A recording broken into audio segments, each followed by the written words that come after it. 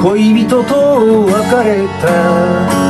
さよならの口づけをして髪の毛を優しく撫でていた。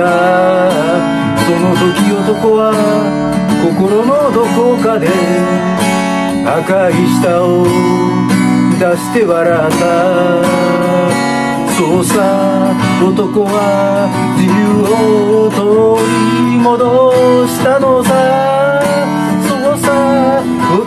は人生のペテン師だから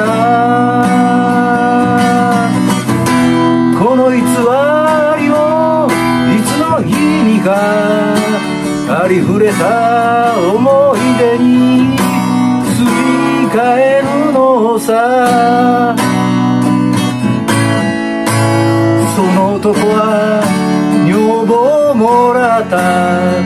人様も羨むほどの素晴らしく綺麗な女をね。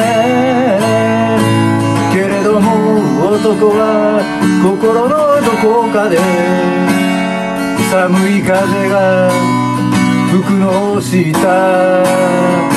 そうさ男は自由を手放しさ男は人生のペテン師だから。一人ぼっちの幸せを。退屈な毎日がすり替えたのさ。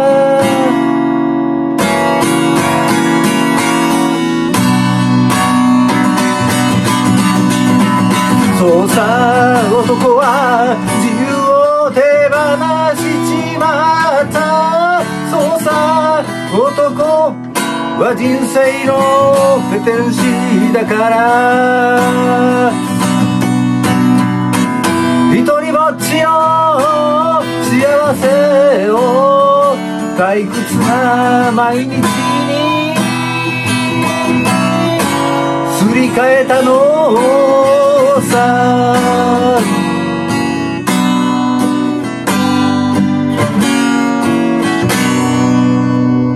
かぐや姫でペテン師でした。